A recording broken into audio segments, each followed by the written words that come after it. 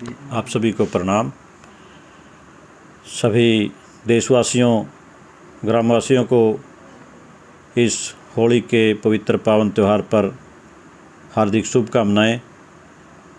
मैं सरपंच प्रतिनिधि, ग्राम पंचायत कोत कलां आप सभी से विनम्र निवेदन है कि गाँव की मौजूदा स्थिति, जो कि अप्रिय घटनाएँ हुई हैं, उन सभी को देखते हुए अपने गाँव में इस त्यौहार को, भाईचारे के, को मज़बूत बनाने के लिए और नशे से दूर रहकर इस त्यौहार को मनाएँ और अपने सद्भाव को मज़बूत बनाए रखें।